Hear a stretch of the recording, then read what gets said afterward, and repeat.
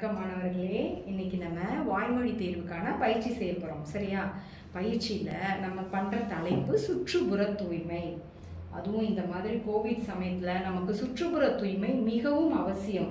ஏன்னா இது நோய் தொற்று காலமாக இருக்குது இல்லையா? அதனால் நோய்கள் பரவாமல் இருக்க நம்மையும் நம்மளோட சுற்றுப்புறத்தையும் நாம் எப்படி வைத்துக்கொள்ள வேண்டும்? சுத்தமாக வைத்துக்கொள்ள வேண்டும்.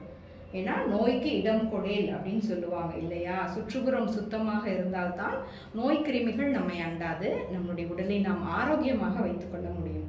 நம்ம எதுக்காக முகக்கவசம் போடுறோம்? அடுத்தவங்க பேசுகிறப்ப வர்ற கிருமிகள் எதுவுமே நம்மளை தீண்டக்கூடாது அண்டக்கூடாது அப்படிங்கிறதுக்காகத்தான் முகக்கவசம் போடுறோம். வெறும்னா முகத்தில் முகக்கவசம் போட்டால் மட்டும் பத்தாது. நம்முடைய சுற்றுப்புறத்தையும் நாம் எப்படி வைத்துக்கொள்ள வேண்டும் சுத்தமாக வைத்துக்கொள்ள வேண்டும். இப்போ பார்த்தீங்கன்னா தூய்மையின் அவசியம். முதல்ல நம்ம சுற்றுப்புறத்தை பாதுகாக்க விடில் நாம் மட்டுமின்றி யார் யார் பாதிக்கப்படுவாங்க? தாவரங்களும் விலங்குகளும் சேர்ந்து பாதிக்கப்படும். உதாரணமா பார்த்தீங்கன்னா நம்ம நெகிழி பைகளை பயன்படுத்தி நம்ம கடற்கரைக்கு போறோம். என்ன பண்ணுவோம்?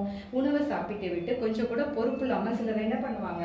நெகிழி பைகளை அங்கேயும் இங்கேயும் போட்டு விட்டு போயிடுவாங்க.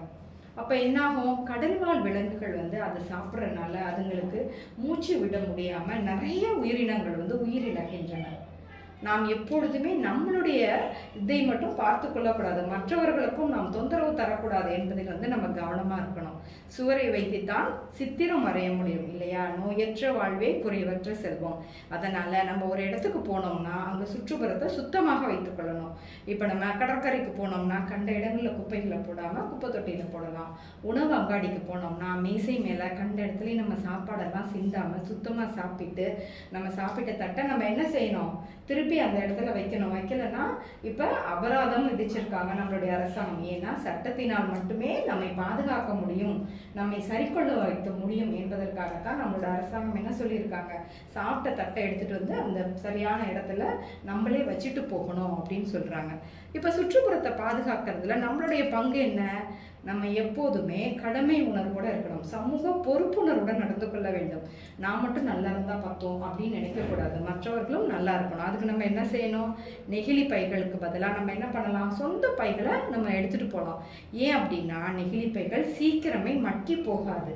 அது ரொம்ப நாளைக்கு இருக்கும். மண் வளத்தை குறைக்கும் இல்லையா? அதனால நம்ம முடிந்தவரை நம்மளுடைய சொந்த துணி பைகளை எடுத்துக்கிட்டு போகலாம் அதே மாதிரி பாத்திரங்களை நம்ம வந்து என்ன பண்ணலாம்? உணவு அங்காடிக்கு செல்லும் போது நாம் மீண்டும் மீண்டும் பயன்படுத்தக்கூடிய பாத்திரத்தை நம்ம அதில் வாங்குறதுக்கு போனோம்னா அந்த பாத்திரங்களை நம்ம எடுத்துகிட்டு போய் வாங்க போகலாம் இந்த சுத்தத்தை நம்ம கடைபிடிக்கிறதுக்கு என்னென்ன பண்ணலாம் அப்படின்னா கண்காணிப்பு கருவி மற்றும் அறிவிப்பு பலவகைகள் விளம்பர துண்டு சீட்டுகள் எல்லாமே நம்மளோட அரசாங்கம் செய்யுது இல்லையா? இவ்வளோ செஞ்சாலும் நம்ம சமூக பொறுப்புணர்வோடு நடந்து கொண்டால் மட்டுமே இந்த பிரச்சனையை தீர்க்க முடியும். எனவே நாம் மாணவர்களாகிய நாம் என்ன செய்யணும்? நம்மளுடைய சுற்றுப்புறத்தை பாதுகாக்க வேண்டும் என்பதில் முழு அக்கறை கொள்ள வேண்டும். சரியா?